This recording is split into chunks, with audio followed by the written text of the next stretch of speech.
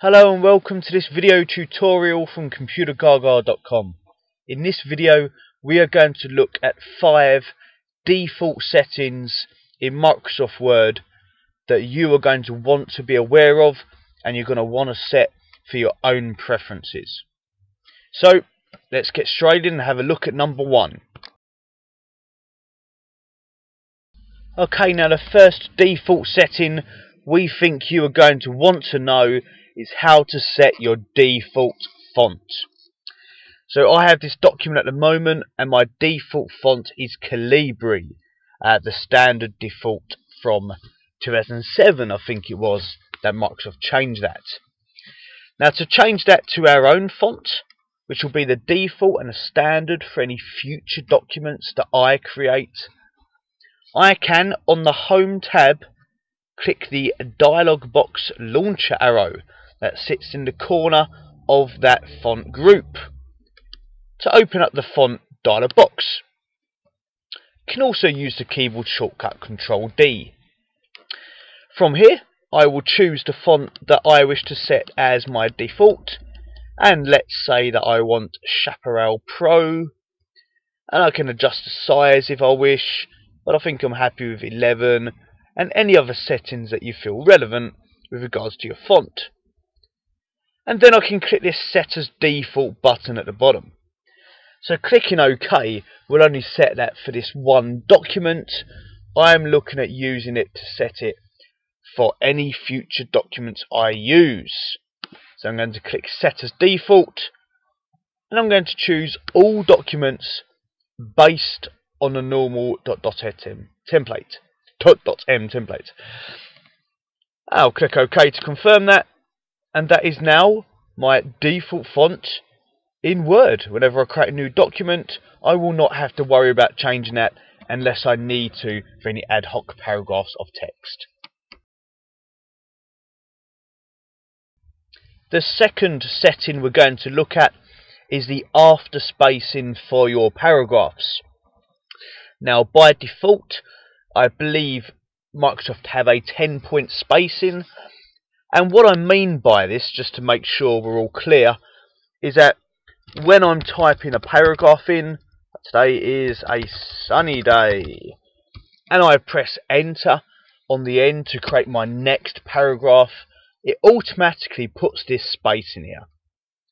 So this setting is found on the page layout tab and is normally just over halfway. It's about halfway on my ribbon, where I have the after spacing for the paragraph, and it's set at 10 points. That's a 10 point gap in between each paragraph. Um, tomorrow may not be of my document. Now, not everybody's happy with that. Personally, I am, although I may wish to adjust the spacing at times, but some people do not like that at all, or they may just want a smaller space or a slightly bigger space, depending on the size of the font that they're typing in usually.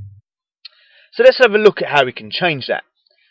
Now once again, like with a previous setting, where we have our paragraph group, I can click this arrow in the bottom right hand corner to open up the full-on dialog box for paragraph settings. So what I'm about to say is can be applied to any paragraph setting. But I'm looking at the after spacing two thirds down the dialogue here. And let's say that I just want to adjust it to 12 points. For the purposes of making a change, let's say that's what I want to do. And then I can click my set as default button at the bottom. Adjust it to all documents based on the normal template and click OK. That will adjust it here and now any future documents that I create I will now have a 12 after spacing by default. Right, the next setting is to look at changing the default spelling language. So by default it is set as English US, but depending on what country you're coming from, you may wish to adjust your default setting. It may well be that you write documents in multiple languages, in which case you will need to be able to adjust it document to document, depending on the language you are writing in, but you'll want one standard, one default, that is the one you primarily use. Now for this one, we are going to the Review tab. That is where I kind of proofing and our kind of tracking settings are. From here, we can go to the Language button and set proofing language. This will allow us to change the proofing language for this specific document. So I can say that I'm writing this document in French or maybe writing it in German or so on. And I'm letting Word know what it needs to be checking my spelling in. However, once again, towards the bottom, we have our set as default button. So, I've got it currently set as English UK, uh, because I am based in the UK, but let's say, for example, that I wish to change it to English United States. I can then click Set as Default. That will give us the usual warning. Ah, oh, this is going to change it for all new documents. Are you sure? Yes, I am. Yes, I would very much like that. And I can click OK, and that will now be my default for future documents that I write. So to be clear, we can change this document to document ourselves, and any documents that you open that were written by somebody else, they will be set by the language of the author. So your setting here will not adjust their documents, even if you write, sorry, opening it in your own version of Word. This is just setting it for the documents that you create yourself. Okay, now the next default setting is how to turn off the mini toolbar. Now the mini toolbar is when you highlight a piece of text or some cells of a table or something like this and you get this toolbar jump up to assist you with kind at general formatting and kind of popular commands. Now that seems great and some of you guys may feel that is great but sometimes that toolbar jumps up like right in an area where you want to be. So sometimes it can become a bit of an irritant uh, to people. And that is kind of myself included. I'm not a big user of the mini toolbar. So what we can do is click on our File tab, come into Options, and uncheck the Show Mini Toolbar on Selection option, the very first option. We also have enable live preview there, which generally people like. That's the feature that's showing you what your font looks like and the colour of something looks like as you hover over the formatting settings. So I'm going to keep that one on. But mini toolbar is off.